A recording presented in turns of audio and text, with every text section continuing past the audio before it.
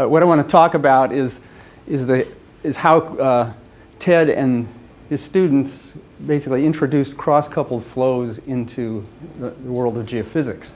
And it starts with Ted's work on induced polarization. Uh, if you have a, a pore that, that's blocked by a mineral grain, a metallic mineral grain, and you're trying to push a current through it, you have to overcome a, a potential at that surface to polarize the surface. And so there, this requires energy storage. If you turn the current off, the energy is released, and you, the, the, uh, the, the uh, there'll be a decay of this voltage with time. So this is what Ted was studying, I guess, starting in the 1950s. And one of the things that, that was discovered was as they started looking at deeper and deeper ore bodies, because the shallow ones had been, been uncovered or, or discovered, they found that the anomalies were smaller. And there were effects due to background uh, IP effects, and it wasn't clear what was causing those. And this became the thesis subject for Don Marshall, who's here, was looking at how, what other mechanisms might be involved in energy storage. And so they looked at, at uh, chemical energy storage mechanisms, mechanical ones through, through water flow, and thermal ones through, through heat. So this, um, this is uh, from, from Don's thesis, and so he shows up here is this cross-coupled flow system uh, where you've got the system and you can have a bunch of different uh, uh, flows going into it, electrical current, heat, solute, solvent, and whatever. And he, he formulates it uh, this way where he has the, these various flows due to cations and anions flowing through the, through the rock, in this case, solvent, the, the water, heat, and it can be driven by chemical potentials, electrical potentials, pressure gradients, and temperature gradients. And he, they, they worked from the ideas of Onsager on these uh, irreversible thermodynamic systems, and you end up having a system where you have this generalized conductivity matrix. And if, if we have no cross-coupling properties, the only elements in this matrix that exist are, are on the diagonal, and all the cross-coupling comes about are, is uh, represented by these off-diagonal terms. And under proper conditions of if you pick the units uh, of these fl uh, flows and, and, forces correctly, and you have uh, irreversible, uh, you have, you, microscopic reversibility, you, you then can show that this matrix has to be uh, symmetric, diagonally symmetric.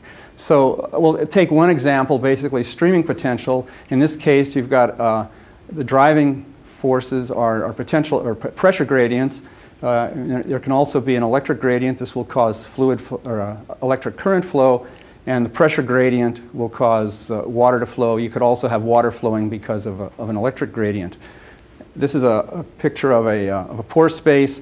Uh, the silicate minerals will have a negative charge because of broken crystal structure, and to, to uh, obtain electrical neutrality, you end up having an excess of, of cations near the surface, some of which are, are not mobile and others which are. But in this mobile uh, population of ions, you end up having more positive ions than negative ions. So when you put a pressure gradient across it, you end up moving more positive than negative ions, so you, you ha essentially have a current flow uh, or you going in the direction uh, of to lower pressure. This generates a charge separation which in turn creates an electric field which drives back a counter current.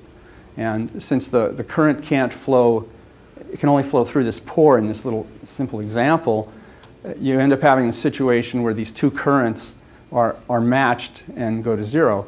And you can then rearrange this equation to basically get the ratio of the, of the uh, electric potential gradient over the pressure gradient under this condition of no current flow.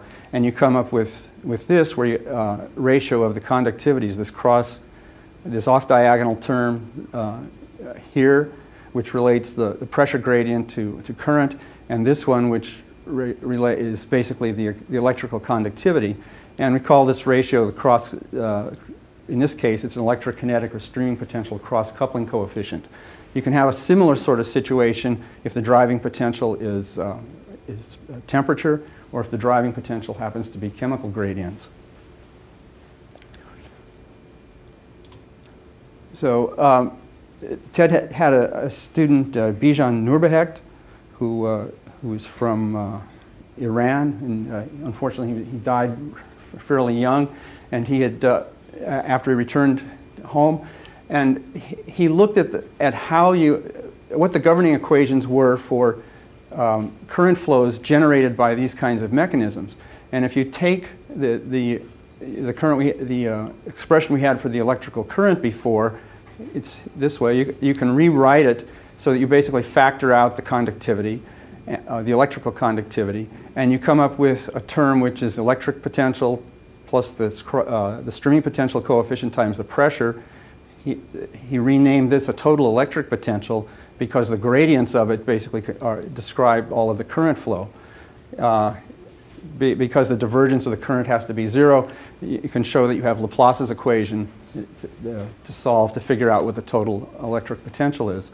And there are a couple boundary conditions, you know, the usual things that we're accustomed to for electrical properties. Uh, uh, at boundaries of, of conductivity, the, the potential is, is continuous. Uh, for fluid flow, the pressure is continuous.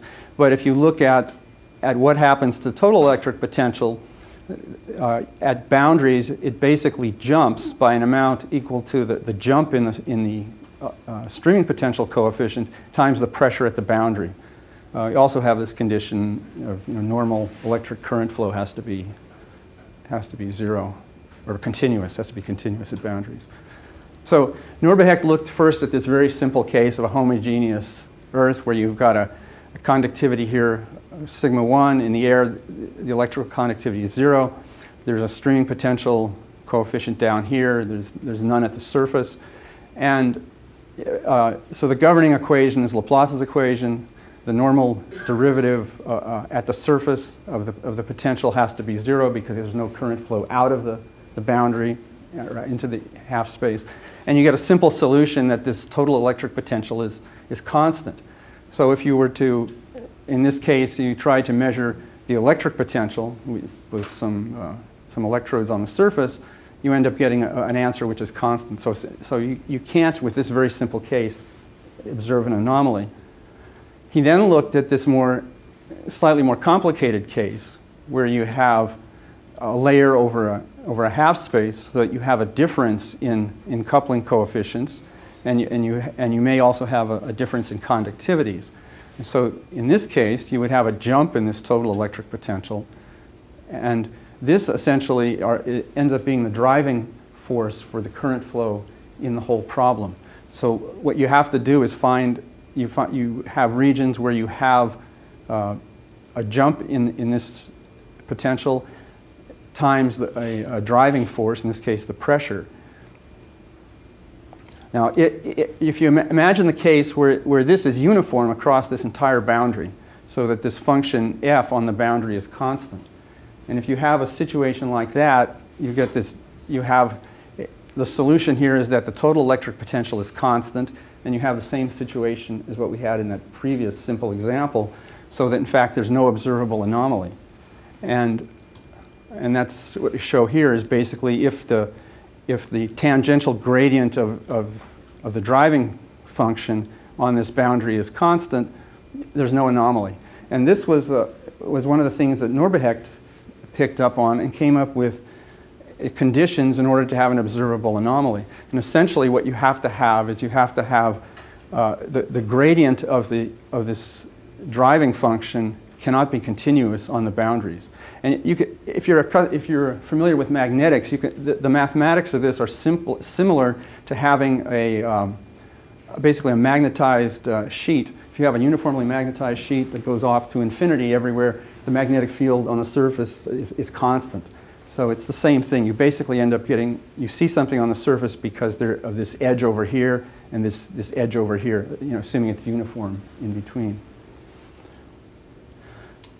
So now we're going to look at some examples of, of what Nourbehecht looked at uh, to apply this stuff. And the first one comes from the, uh, the Cold War. So in, in the, uh, I guess in the, in the, in the 50s and 60s, uh, the US, the Soviet Union, and Great Britain started thinking about nuclear test ban treaties because they were concerned about all this radioactivity that was coming up into the atmosphere. And one of the components that was suggested for the test ban treaty was that you have on-site detection of nuclear blasts. And uh, the, the, Russians opposed this, but the question came up, how do you go about telling if there was a, a blast, you know, after the fact? Well, if you had a, um, if you had, let's say, a 20 kiloton nuclear blast, it would, it would boil water within a 50, 50 meter radius of the, of, of the explosion site. So you have a, a, large source of heat, high temperatures. This would, you'd also be driving uh, fluid away because it's all, it's all turned to steam, so you, you can generate, uh, there, there's a potential gradient in the ground. So the, the idea was, could you see uh, an anomaly due to thermoelectric or electrokinetic potential or sources? So the first thing you have to have is you have to have a boundary, as we saw. So, uh, so what Nourbehecht looked at was having a pressure source at, at depth uh, below some material. And typically these, these bombs were, at the Nevada test site, were down about 400 to 500 meters depth. And he was able to, to see that the thermoelectric anomalies were much too small to produce anything that was going to be observable, but you could get something from the streaming potential. And this is an example of, what he calculated, uh, basically a normalized voltage uh, as distance fr from the source, and this is a spherical source. And these are curves showing how the anomaly changes as the source moves uh, above and below the boundary. So that you get the largest anomaly when, when the pressure source is near the boundary, as you'd expect from, from what we'd shown before. So this is an, an, uh, some field data that he, he was able to analyze where they had a, this 37 kiloton blast. It was at a depth of 440 meters, and this is the potential measured on the surface uh, as a function of time. And initially, there was this, this huge positive peak, which was interpreted to be due to, uh, due to uh, fluid flow away from the blast. But very quickly, it dropped, became negative, and then it recovered very slowly. And what they think happened in this case is that the blast actually vented to the surface so that you it lowered the pressure at depth so that you then had a lower than hydrostatic pressure in the ground and you end up having fluid flow back towards, towards the blast site. And this was the anomaly that lasted for, uh, here they had, they recorded data out for 90 days. So he was able to fit this to, uh, to his model. This was the, these were the data from the negative peak, the, the long recovery. And the, the, parameters that he got agreed fairly well with what they knew about the test site. And the ones from the positive anomaly didn't fit very well as you'd sort of expect because the, the geometry was not this spherical geometry. You, the pressure was going up through the, some sort of a cracking area rising to the surface and so it was more complicated. The bottom line on all of this is that they eventually decided not to allow on-site detection or, or verification in 1963, they, came to an agreement, and President Kennedy signed the, this partial nuclear test ban treaty. So um, this was never actually used. And I'll switch to uh, geothermal work. Uh, this is uh, a, a, geothermal field, or uh, self-potential data from a geothermal field in Mexico. Um, these were data collected by Bob Corwin. And you've got this dipolar anomaly, which you usually see if you have some type of a fault situation. And the model that, that uh, Bob and I used to fit this is basically uh, some sort of a, a, rectangular patch on the fault where you have difference in physical properties across the fault. And, and, and this shows the data that uh, collected and we're able to, uh, to make a match to this. And the, the depth to the top of this corresponds to where the production zone is. And the, the, the conductivity change across, uh, we see across this corresponds to surface resistivity measurements. Bill Sill thought of a different way to do this. The, the, the, the, model that I was doing was basically just fitting an electrical source to, to the data. And what Bill Sill decided to do, since uh, another one of Ted's students who, who, was going to be here but wasn't able to show, uh, uh, he looked at why not model the primary flows. And so this geothermal system, he, using electrical resistivity data, this is in, um, in Utah, he, he was able to come up with a, a a, uh, a, structure for, for the ground, the resistivity model, and uh, electrokinetic, uh,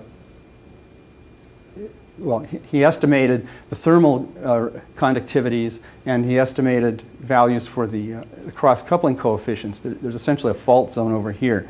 And then he modeled the, the, the heat flow problem. He had temperature cores of uh, here, and the, these are his modeled isotherms, and also he had heat flow data.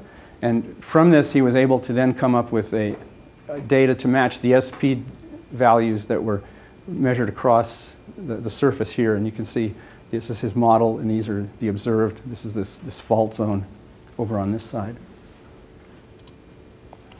Um, just briefly talk about the next thing has to do with earthquakes. If you have stress changes in the ground, it's going to cause fluid flow. This could cause electrokinetic uh, currents. And it was proposed by uh, uh, Mizutani and his associates in the, in the early or mid 70s, I think it was, that you might cause magnetic fields to be associated with, with the earthquakes.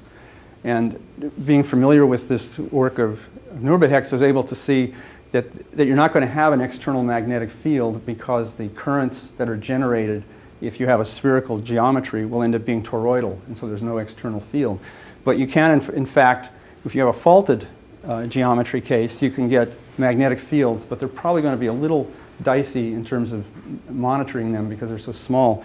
However, there is an associated electric field, so there may, in fact, be self-potential uh, measure, measurements that could be used uh, to look at some of these stresses. And the last thing we're going to talk about, this is work done by Bob Corwin, who was probably the best uh, field geophysicist for collecting SP data.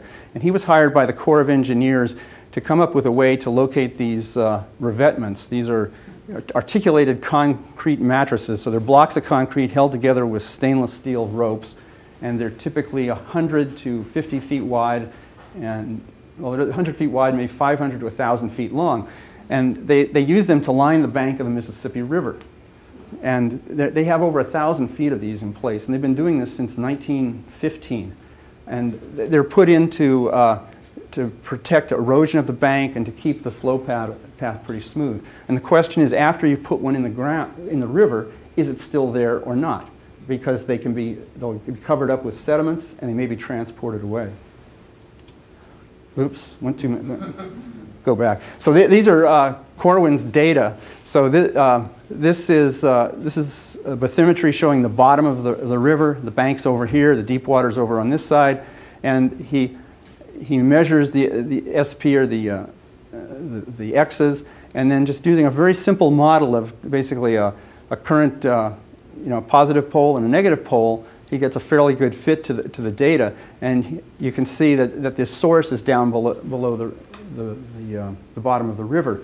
And in fact, he has other data where he shows it, where you can see when they've just installed one, you can see it right on the, on the bottom of the river, riverbed, or other places where they, they're not there, and you, and you essentially get a flat uh, uh, self-potential anomaly. So it's, it turned out to be a, a really uh, good way to, to uh, monitor these things. And then last, um, I learned a lot of things from Ted. And there were there's sort of like uh, three, three things that always sort of stick in my mind. Uh, one is, he, he, always said, geophysics is not highbrow. He said, keep it simple. And you know, the, the gray peril is sort of the, the essence of that, since the, all the world can be modeled as a uh, transmission surface. It's simple, it's not highbrow. uh, and the other thing was, is the cosine square law. Sometimes Ted would be looking at some work that you'd done, or you'd have some objection to something that he was talking about, and you say, but what about this effect? He said, oh, don't worry about that. That's, that goes as the cosine squared of some small angle. and whether or not it was true or not didn't matter. His, his, physical intuition was right on the money. And it was like, okay, recognize what's important and focus on that. Don't get distracted by this other nonsense. And the last thing was have a good time while you're getting the job done. And I remember the first time I was in school here, I went to the field, and he called me up in the morning. He said, what kind of sandwich would you like for lunch? So he told me what he could get at this, his local deli. Uh, and uh, so I told him. So he, and I thought, and I thought, he got off the phone. I thought, man, this is great. You know, he's bringing lunch. And it got even better because when he opened up the cooler at lunchtime, not only did he have sandwiches, he had beers. So it taught me, you know, how you're supposed to treat the field crew if you really want to get work done.